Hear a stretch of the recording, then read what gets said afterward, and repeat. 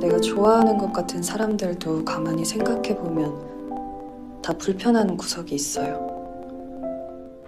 실망스러웠던 것도 있고, 미운 것도 있고, 질투하는 것도 있고, 조금씩 다 앙금이 있어요. 사람들하고 수더분하게 잘 지내는 것 같지만, 실제로는 진짜로 좋아하는 사람이 아무도 없어요.